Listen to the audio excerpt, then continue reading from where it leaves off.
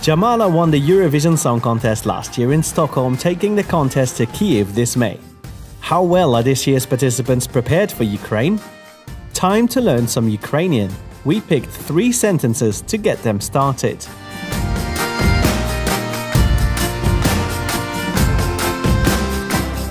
До зустрічі в Києві. До зустрічі в Києві. До зустрічі в Києві. Зустрічі в Київ. До зустрічі в Києві. До зустрічі в Києві. До зустрічі в Києві.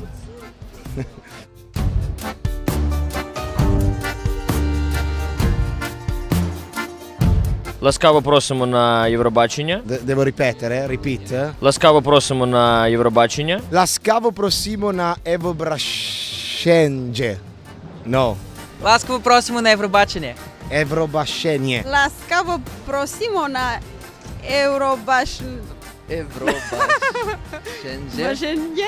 Ласкаво просимо на Євробасимвожмон. Ласкаво просимо на Eurobascie- Басьєні. Ласкаво просимо на Євробашення.